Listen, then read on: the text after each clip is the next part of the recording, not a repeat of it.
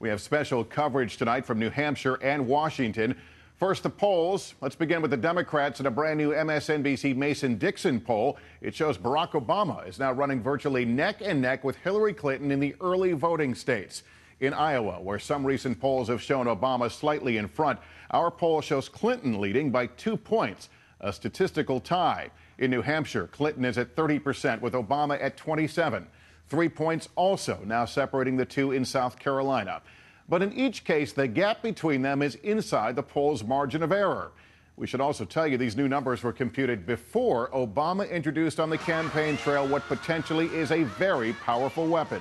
Talk show host Oprah Winfrey, who today joined Obama on stage at a jam stadium in South Carolina.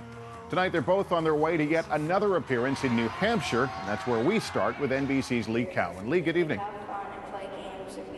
Well, good evening, Lester. This is the final stop of the Oprah Obama three state swing. And so far, uh, they've been getting the biggest crowds that uh, Obama has ever seen. And that one down in South Carolina was the biggest of them all. South Carolina, I do believe he's the one to bring us the audacity of hope. Barack Obama. After enduring the ice and snow in Iowa on Saturday, Oprah and Obama brought their act to the sunny end zone of the University of South Carolina football stadium. We have never had a bigger crowd than this. Quite a picture for a candidacy that Obama is still proud to call unlikely. But, you know, Oprah and I share something, and that is nobody could expect that we would be on this stage here today. This was a first for Oprah Winfrey, who's endorsed a lot of things over the years, but never a presidential candidate. For the first time, I'm stepping out of my pew because I've been inspired. It was vintage Oprah, even with a hoarse voice, making social satire. These are dangerous times. We all watching Dancing with the Stars, trying to forget about it. But I know you feel it. Don't you feel it? She wasn't afraid to use humor or her southern roots. You know, Dr. King dreamed the dream. But we don't have to just dream the dream anymore. We get to vote that dream into reality. She covered all the bases from Iraq. And he stood with clarity and conviction against this war in Iraq.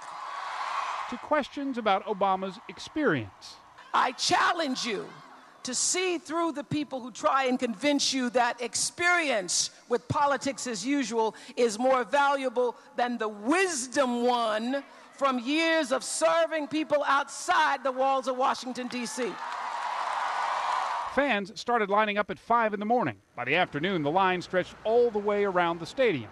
Most of the audience was black, in stark contrast to the mostly white audiences Oprah had been bringing in in Iowa on Saturday. African Americans make up about half of South Carolina's Democratic primary voters, and Obama and Hillary Clinton are neck and neck for their support. Before I was kind of on the fence, now I have made a decision that I am an Obama supporter. We just want to listen to everybody first before we decide. The music was appropriate. Oprah may have brought in the crowds, but it was up to Obama to deliver their vote. Now, the campaign estimates to right. By the end of the night, Oprah will have brought in some 60,000 people to hear Obama's message. That doesn't count the millions who watched it all on TV. Not bad for a guy who's getting ready to make his closing argument in his critical days of this campaign.